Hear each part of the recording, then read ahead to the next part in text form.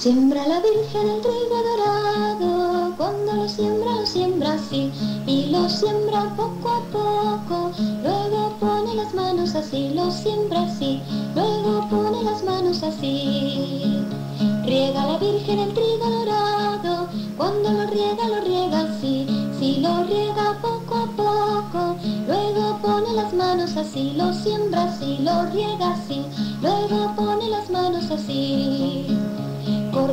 Virgen el trigo dorado, cuando lo corta, lo corta así. Si lo corta poco a poco, luego pone las manos así. Lo siembra así, lo riega así, lo corta así.